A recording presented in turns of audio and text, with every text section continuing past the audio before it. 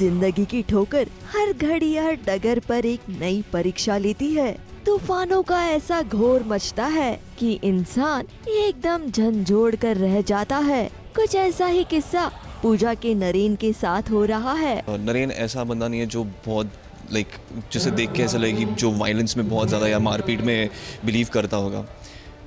वो शायद ये चीज़ बहुत शांति से सम मतलब निपटा भी सकता था बट उसके लिए सबसे ज़्यादा इम्पोर्टेंट था उस वक्त वो था पैसे। जो उसने बहुत ही मेहनत करके अपने लिए, अपने घर वालों के लिए कमाए थे। तो जब वो पानी में भीगने लगे that is when he completely lost उसका संतुलन बिल्कुल हिल गया। और एक अकेला इंसान कैसे चार लोग पे भारी पड़ा, क्योंकि उस वक्त उसने भी कुछ नहीं सोचा। जैसे कोई सामने आता, हाथ पैर हिला के सबको फुल एकदम हीरो जैसे मार के। ऐशो आराम से पले बड़े नरेन को आज पैसों की कीमत पता चल गई है। अपने घर वालों को रोजी रोटी देने के लिए नरेन ने बड़े ही मेहनत से कुछ पैसे कमाए थे, जिस पर हक जमाने ये गुंडे आ गए। और फिर क्या? इसी बहाने ही सही नरेन का एक नया रूप देखने मिला। कल तक जो नरेन संतों की तरह व्यवहार करता था, आज वो एक सुपर हीरो की तरह गुंडों से लड़ने पर मजबूर हो गया।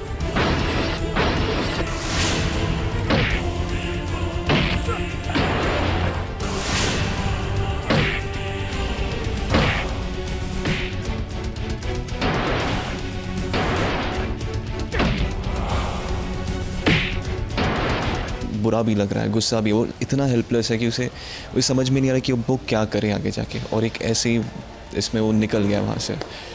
कुछ भी हो जाए नरेन, लेकिन आपका ये संघर्ष ही आपके शो के लिए टीआरपी ले आएगा। और जब टीआरपी आएगी तो ये संघर्ष भी आसान लगने लगेगा।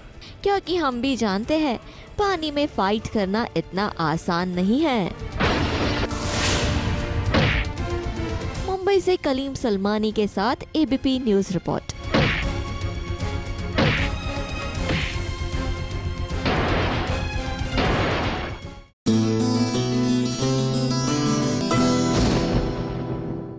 ये है एबीपी न्यूज़ आपको रखे आगे.